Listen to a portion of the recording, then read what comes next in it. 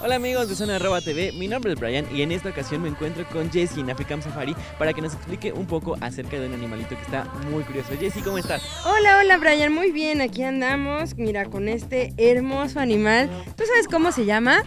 Muy bien, pues yo sé que, que es un tlacuache. Exactamente, se le conoce como tlacuache. Bueno, también los conocemos como zarigüeyas. Él es un tlacuache común. Aquí en México hay ocho especies diferentes de tlacuaches.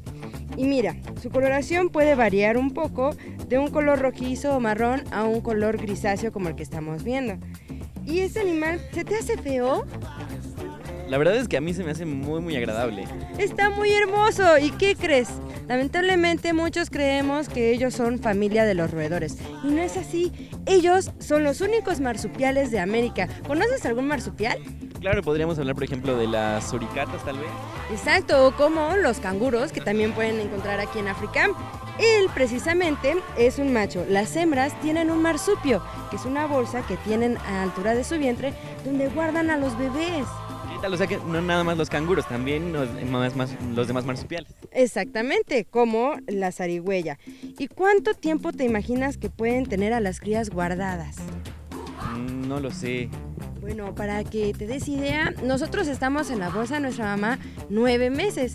Ellos nacen en un periodo de 14 a 15 días, que es cuando dan a luz las, las hembras, y se guardan en, en su marsupio, en su bolsita, por un tiempo de 8 semanas aproximadamente. ¿Cómo ves? Oye, ¿qué tal? Está increíble, es mucho, muchísimo, muchísimo menos.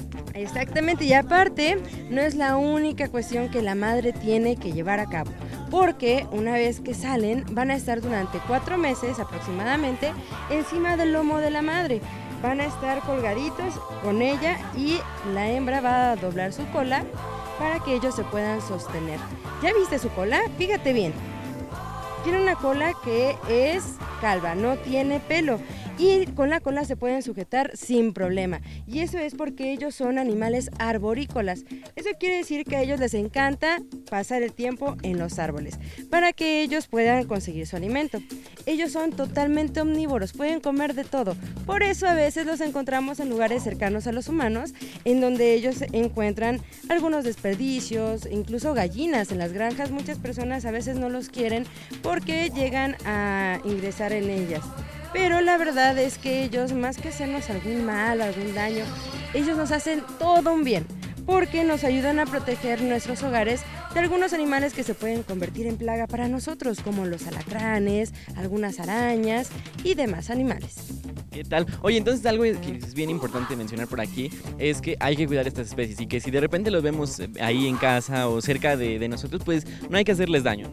Exactamente, hay que ser parte y convivir con la naturaleza.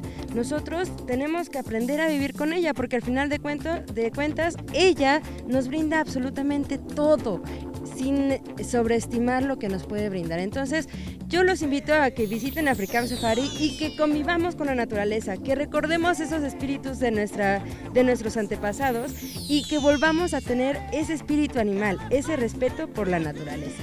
Por supuesto que sí, Jessy, algo muy importante, pues es eso, ¿no? Saber convivir con, con las demás especies y, y sobre todo cuidarlos, ¿no? Que, que es el, el- sobre todo el mensaje que queremos dar. Así es, y bueno, los invitamos a que conozcan a más animales y a las zarigüeyas aquí en African Safari, Brian. Por supuesto que sí, muchísimas gracias, Jessy. Muchas gracias, Brian. Y recuerden cuidar mucho estas especies. Yo soy Brian y continuamos con más de Zona Arroba TV.